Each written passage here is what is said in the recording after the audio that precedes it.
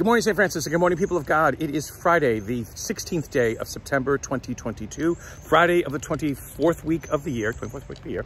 Um, but also uh, today it is the memorial of Saints Cornelius and Cyprian.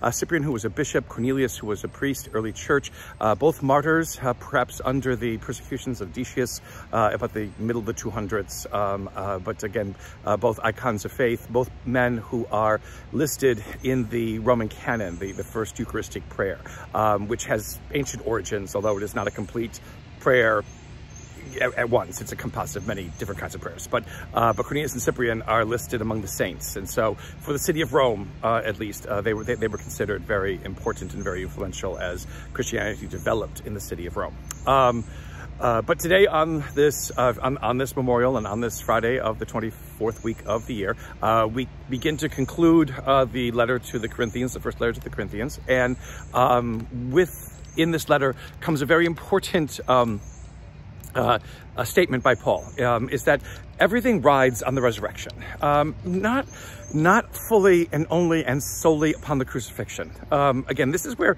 we seem to have got it wrong in a lot of ways. And again, we get it wrong because resurrection seems to be something that is so distant, so far-fetched, so unbelievable, so intangible, so only for Jesus, um, that we kind of just push it aside. And all we focus on is a man who is dying on a cross. And again, the importance of that as an act of love, not as an act that opens the gates of heaven because they were closed because of a man and woman who ate a piece of fruit they shouldn't have eaten, or because God hates us, or whatever it is, um, that, it, that, that can't be the only focus because our faith does not rest upon a Christ crucified. Our faith rests upon a Christ who is risen.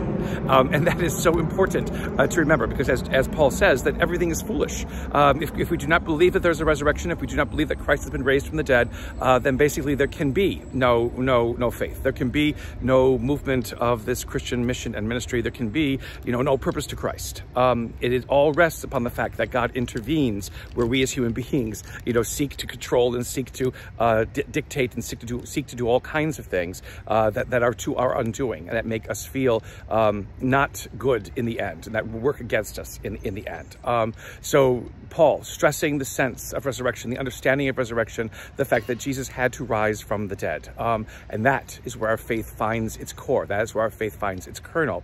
Um, and we need to get back to that. We need to understand that more, more, more so than anything. Uh, the focus upon the cross leads to too much guilt. It leads to too much focus upon suffering alone. And again, a God who seems to be in, in, incapable of helping to relieve any of that. Um, resurrection demonstrates that suffering is never the last word in our lives. Even though we may undergo it many times, suffering is never the last word in our lives.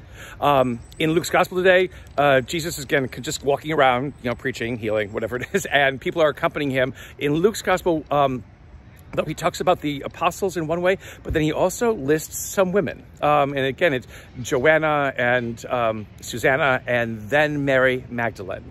Um, and again, he says, you know, of Mary Magdalene that seven demons are cast out of her. Not the other women, but just Mary Magdalene has these demons cast out of her. Why, how, when? Doesn't ever say, just says it was done. Okay, fine, that's great. It does not mean that she was a prostitute. It does not mean that she was a woman of ill repute, a woman of the evening, whatever it is. Um, she probably had a sickness. And again, according to Luke, who is the physician, and very concerned with how sickness interacts with our lives and how God seeks to intervene to cure sickness, you know, mentions the fact that Jesus cured her. Whatever was um, hurting her, whatever was bothering her, whatever was keeping her from life to its fullest, and perhaps that again is the reason why Mary follows him and why Mary becomes a part of his life.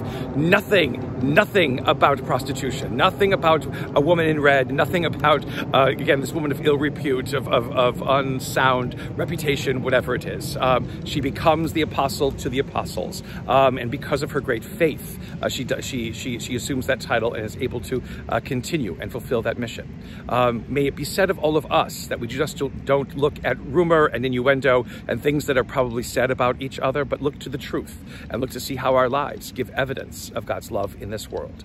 And may the Lord give you his peace.